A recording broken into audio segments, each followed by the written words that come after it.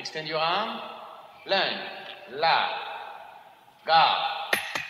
Firm. The coach's voice was firm.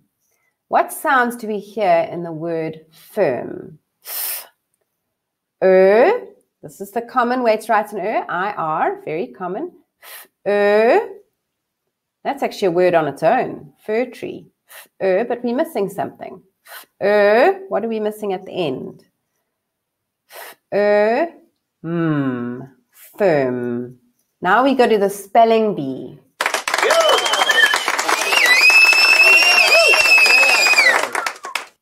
How do we spell firm? F I R M.